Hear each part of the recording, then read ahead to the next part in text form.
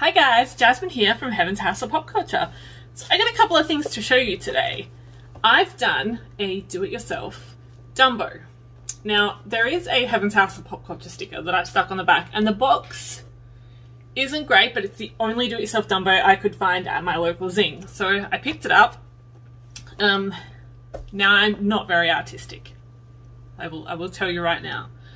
But this baby glows in the dark and it's glittery and don't know how well you can see it. Um, you probably can't see it very well at all, but I'm hoping that where it, when it gets to its next destination, there'll be some better pictures or some better video footage of it so you guys can have a look. But this is going up for auction. Um, I will put the details over here. So Nick from Popalicious Nostalgia is doing a fundraiser auction for cancer. Um, I would really love it if everybody could get behind that. If you could share his channel, if you could share this video, if you could pop on over, I will leave his video with his details for the auction in the description below. If you could pop over to there and share that video out, um, I would really appreciate it. So it is an Australian wide auction just because of the cost, I think. I correct me if I'm wrong, this may change. Um, but I do believe that in you know national people from other countries will still be able to donate to the cause. Uh, we've we've sent in some pops before, so you can probably go back through Nick's videos and see what YouTubers have sent in things. A lot of companies have been sending him things as well. All proceeds will go towards fundraiser. And there's quite a few of us doing these little things and they will be available to purchase on the night.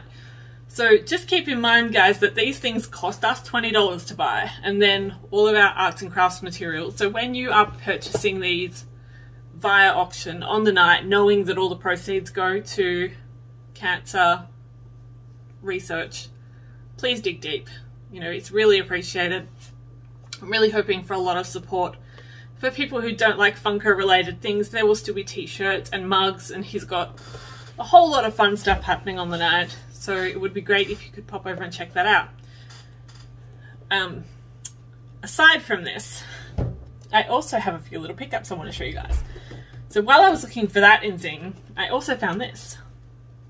It does have some box damage because it was just sitting on the shelf, so it's a little bit scrunchy. Some creases on this side, but it's glow-in-the-dark chase who doesn't like a glow in the dark. And then I went to Smoke Mart. Now, it's a little bit of an Australian secret, Smoke Mart is. They quite often have pop vinyls there, and they usually have stickers on them, which is like uh, one for 20, two for 35, three for 50. I think it is. I could be wrong. But I found a lot of them sitting on the shelf with $10 price tags, and when I got up to the counter and the lady scanned them, they came up as $20. And then, of course, I think she was talking to the other lady and it worked out that she'd mislabeled them by accident and I picked them up for $10 each. Anyway, so this one I basically just picked up because this is the only Steve Irwin I don't have. I have managed to pick up all the rest, but this one was one that I was missing. And then I went on to get some more for my Pop Rocks line. Um, it got a new Freddie Mercury. I do have one down there, but he is wearing a different outfit, so I did want this one. Uh, I got the Demon from Kiss. They are in pop protectors already, so the, the light's being a bit crap. Sorry, guys. And I actually got two Lemmys by accident. You're probably thinking, how did you do that? Well, I went to one Smoke Mart one day and picked up one.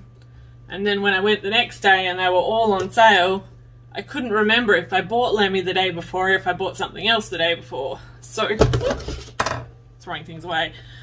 Because I hadn't scanned anything in my Funko app yet, I couldn't tell.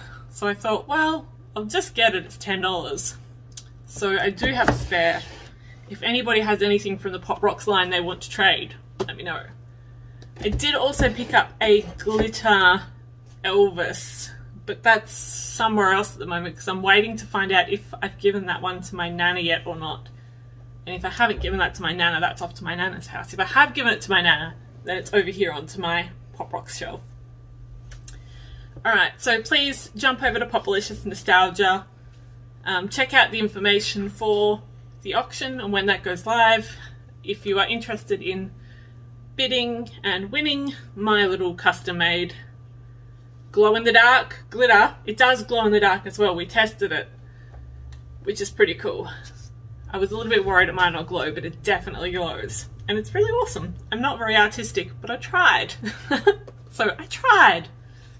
But if you're interested in winning that, pop over to the auction on the night. Even if you can't come, if you could share that around, that would be lovely. All right, thanks for watching, guys. Bye.